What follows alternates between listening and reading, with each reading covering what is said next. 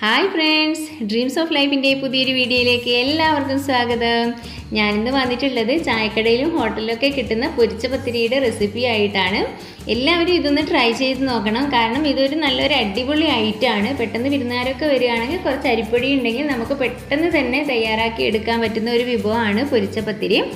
അപ്പോൾ ഈ വീഡിയോ കാണുന്നവർ ആരെങ്കിലും ചാനൽ സബ്സ്ക്രൈബ് ചെയ്യാതെയാണ് കാണുന്നതെങ്കിൽ വീഡിയോയ്ക്ക് താഴെ ഒരു റെഡ് കളർ സബ്സ്ക്രൈബ് ബട്ടൺ ഉണ്ടാവും. അതൊന്ന് ക്ലിക്ക് ചെയ്യണം. അപ്പോൾ ഒരു ബെല്ലൈക്കൺ വരും. അതുകൂടി ഒന്ന് ക്ലിക്ക് ചെയ്താൽ ഒരു ഓൾ എന്ന ഓപ്ഷൻ വരും. അതുകൂടി ക്ലിക്ക് ചെയ്യുകയാണെങ്കിൽ ഞാൻ ചെയ്യുന്ന വീഡിയോസിന്റെ നോട്ടിഫിക്കേഷൻ നിങ്ങൾക്ക് ലഭിക്കുന്നതായിരിക്കും.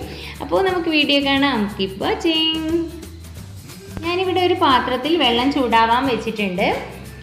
നമ്മൾ എത്രത്തോളം അരിപ്പൊടിയാണ് എടുക്കുന്നത് അതിന്റെ ഇരട്ടി വെള്ളമാണ് നമ്മൾ ഇത് കുഴച്ചെടുക്കാൻ വേണ്ടിയിട്ട് യൂസ് ചെയ്യുന്നത്. അത് തിളച്ച് വരുമ്പോഴേക്ക് നമുക്ക് അതിലേക്ക് വേണ്ട ഒരു അരപ്പ് തയ്യാറാക്കി എടുക്കണം. അതിനു വേണ്ടി ഒരു കാൽമുറിയിൽ കൂടുതൽ തേങ്ങ എടുത്തിട്ടുണ്ട്. അതൊരു മിക്സിയുടെ ജാറിലേക്ക് ഇട്ട് കൊടുത്തു. ഇനി പിന്നെ അതിലേക്ക് വേണ്ടത് കുറച്ച് ഉള്ളിയാണ്. അതുകൂടി ഇട്ട് കൊടുത്തിട്ടുണ്ട്. പിന്നെ കുറച്ച് ജീരകമാണ്. അതുകൂടി ഇട്ട് കൊടുത്ത് ഇനി നമുക്ക് അതിലേക്ക് വെള്ളവും ആവശ്യത്തിനുള്ള വെള്ളവും ചേർത്ത് ഒന്ന് അരച്ചെടുക്കണം. നന്നായിട്ട് അരിഞ്ഞൊന്നും വരണ്ട. ഒരു മീഡിയം ടൈപ്പിൽ അരിഞ്ഞ് കിട്ടിയാൽ മതി. ഇതിപ്പോൾ അരച്ചെടുത്തിട്ടുണ്ട്. ഇനി നമ്മൾ അടുപ്പത്ത് വെച്ച വെള്ളത്തിലേക്ക് ഈ തേങ്ങ അരച്ചത് കൂടി ചേർത്ത് കൊടുക്കുകയാണ്. ഇനി ഇത് നന്നായിട്ടൊന്ന് തിളച്ച് വരട്ടെ. അപ്പോൾ നമുക്ക് അതിലേക്ക് ആവശ്യമായ ഉപ്പ് ചേർത്ത് കൊടുക്കണം. അതിനുശേഷം ലോ ഫ്ലെയിമിലിട്ടിട്ട് വേണം നമുക്ക് പൊടിയൊന്ന് കുഴച്ചെടുക്കാൻ വേണ്ടിയിട്ട്. ഒന്നര കപ്പ് പൊടിയാണ് യൂസ് ചെയ്യുന്നത്. രണ്ടര കപ്പ് വെള്ളമാണ് ഞാനിതിലേക്ക് ചേർത്ത് കൊടുത്തിട്ടുള്ളത്. പിന്നെ തേങ്ങയിലെ കുറച്ച് തേങ്ങ അരച്ചെടുക്കുമ്പോൾ ആയ വെള്ളവും കൂടി ഇതിലേക്കുണ്ട്. അപ്പോൾ ഇത് നല്ല പാകത്തിനായിട്ട് കിട്ടും.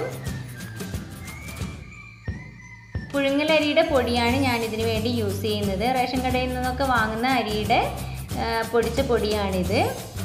പിന്നെ ഇതിലേക്ക് ചേർത്ത് കൊടുക്കുന്നത് കുറച്ച് മൈദപ്പൊടിയാണ്. അത് ഒന്ന് കളർ ചേഞ്ച് ചെയ്ത് വരാൻ വേണ്ടിയിട്ടാണ് മൈദപ്പൊടി ചേർത്ത് കൊടുക്കുന്നത്. ഇനി നമുക്കിത് നന്നായിട്ടൊന്ന് കുഴച്ചെടുക്കണം.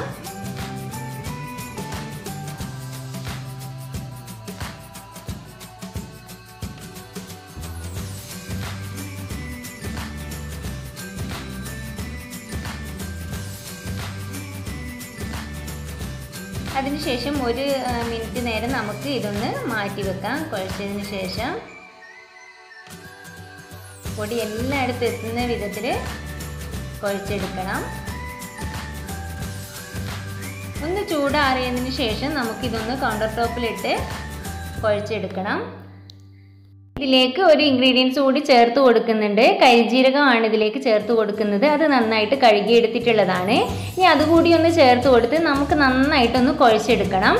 ഇത് കുഴയ്ക്കുമ്പോൾ നമ്മുടെ കൈയൊക്കെ ഒന്ന് നല്ല ചൂടായി വരും.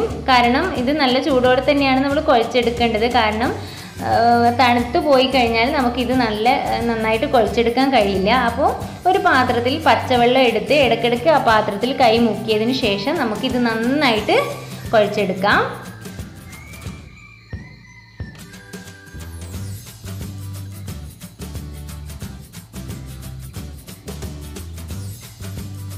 ഇതുപോലെ നല്ല സോഫ്റ്റ് ആയിട്ട് കുഴച്ചെടുക്കണം.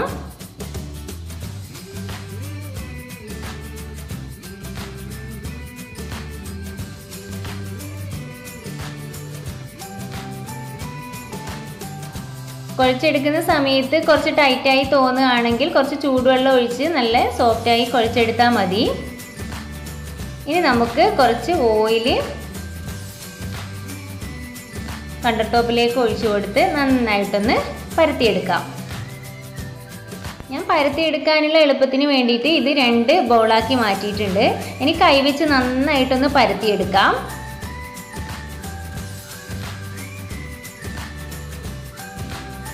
എന്നിട്ട് നമുക്ക് അതൊന്ന് മുറിച്ചെടുക്കാൻ വേണ്ടിയിട്ട് എന്താണോ നിങ്ങളെ കയ്യിലുള്ളത് അതിന് സ്യൂട്ടായിട്ടുള്ള സാധനം വെച്ച് നിങ്ങൾക്ക് മുറിച്ചെടുക്കാവുന്നതാണ്. ഞാനിപ്പോൾ ഈ ഗ്ലാസ് വെച്ചാണ് മുറിച്ചെടുക്കുന്നത്. എനിക്കിത് വെച്ച് മുറിച്ചെടുക്കുമ്പോൾ നല്ല എളുപ്പം തോന്നിയിട്ടുണ്ട്. അതുകൊണ്ട് ഞാൻ ഗ്ലാസ്സാണ് യൂസ് ചെയ്യാറുള്ളത്. ഇതുപോലെ നമുക്ക് മുറിച്ചെടുക്കാം. പെട്ടെന്ന് തന്നെ ഇത് മുഴുവനായിട്ട് നമുക്ക് മുറിച്ചെടുക്കാൻ പറ്റും.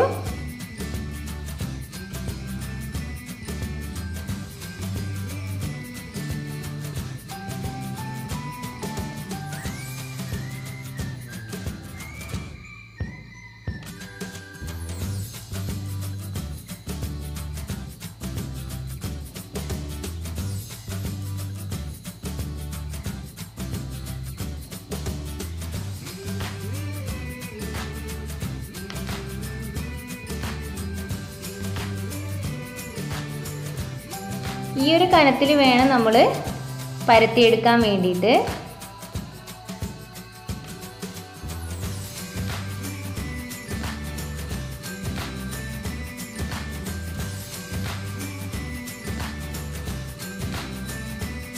അങ്ങനെ നമുക്ക് ഇതെല്ലാം നന്നായിട്ട് മുറിച്ചെടുത്തിട്ടുണ്ട്.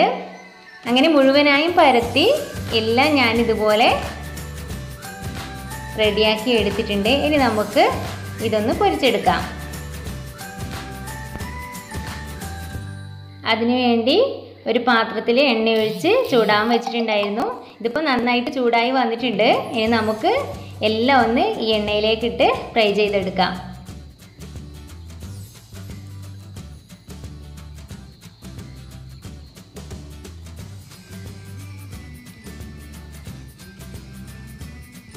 ഇത് ഹൈ ഫ്ലെയിമിലിട്ട് തന്നെ നമുക്ക് പൊരിച്ചെടുക്കാവുന്നതാണ്. കാരണം പൊടിയൊക്കെ നന്നായിട്ട് വെന്തതാണ്. നമ്മൾ തിളച്ച വെള്ളത്തിലാണ് ഇത് പൊടി കുഴച്ചെടുത്തിട്ടുള്ളത്. അതുകൊണ്ട് തന്നെ ഇത് നമുക്ക് ഹൈ ഫ്ലെയിമിലിട്ട് തന്നെ ഇതിന്റെ ഒരു കളർ ചേഞ്ച് ചെയ്ത് വരുന്നത് വരെ ഒന്ന് വെച്ച് നമുക്ക് പെട്ടെന്ന് തന്നെ ഇതെടുക്കാവുന്നതാണ്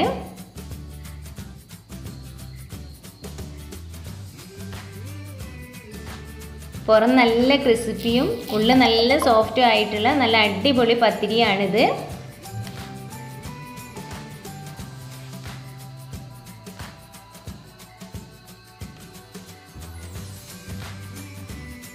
എല്ലാവരും ഇതൊന്ന് ട്രൈ ചെയ്ത് നോക്കണം. നമുക്ക് പെട്ടെന്ന് തന്നെ തയ്യാറാക്കി എടുക്കാൻ പറ്റുന്ന ഒരു വിഭവമാണ്. നല്ല ടേസ്റ്റുമാണ് കുട്ടികൾക്കൊക്കെ പ്രത്യേകിച്ച് നന്നായിട്ട് ഇഷ്ടപ്പെടും.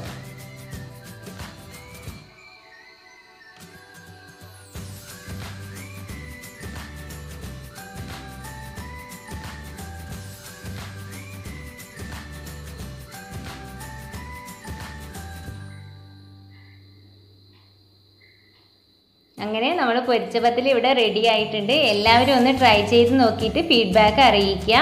വീഡിയോ ഇഷ്ടമായാൽ ലൈക്ക് ചെയ്യാനും ഷെയർ ചെയ്യാനും ചാനൽ സബ്സ്ക്രൈബ് ചെയ്യാനും മറക്കാതിരിക്കുക. നിങ്ങൾക്ക് വീഡിയോ ഇഷ്ടമാവുകയാണെങ്കിൽ നിങ്ങളുടെ ഫ്രണ്ട്സിനും റിലേറ്റീവ്സിനും ഒക്കെ ഒന്ന് ഷെയർ ചെയ്ത് കൊടുക്കണം. Thanks for watching